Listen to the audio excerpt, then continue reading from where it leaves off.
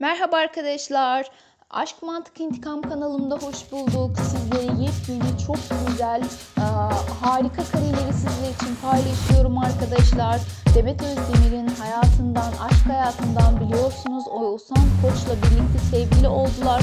Ve Demet Özdemir Oğuzhan Koç'la birlikteliği bir yıl sürdü. Bir yıl sonra ayrılmak kararı aldılar.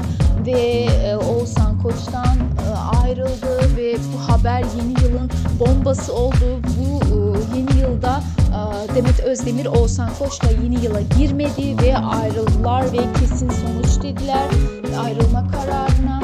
Herkes onların ayrılmasını e, çok da doğru bulmadı. Yani bir yıl çok uzun bir süre birlikte çok iyi vakit geçiriyorlardı ama